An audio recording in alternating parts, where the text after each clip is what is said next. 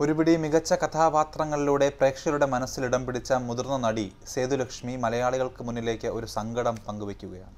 മകന്റെ ചികിത്സയ്ക്ക് പണം കണ്ടെത്താനായി സഹായം അഭ്യർത്ഥിച്ചിരിക്കുകയാണ് ഈ അമ്മ. മകന്റെ വൃക്ക മാറ്റിവെക്കാനായി അടിയന്തരമായി പത്ത് ലക്ഷം രൂപയാണ് വേണ്ടത്. സേതുലക്ഷ്മിയുടെ മകൻ കിഷോറിന്റെ വൃക്കകൾ തകരാറിലായിട്ട് പത്തു വർഷത്തിലേറെയായി. കിഷോർ ചില സ്റ്റേജ് ഷോകളിൽ നേരത്തെ പങ്കെടുത്തിരുന്നു. സേതുലക്ഷ്മി അഭിനയിച്ചു കിട്ടിയ പ്രതിഫലം മുഴുവൻ മകന്റെ ചികിത്സയ്ക്കായി ചിലവഴിച്ചു. ഇപ്പോൾ കിഷോറിന്റെ അവസ്ഥ കൂടുതൽ മോശമായി. ജീവൻ നിലനിർത്താൻ വൃക്ക മാറ്റിവെക്കുക മാത്രമാണ് ഇനി പോംവഴിയെന്ന് ഡോക്ടർമാർ പറഞ്ഞു.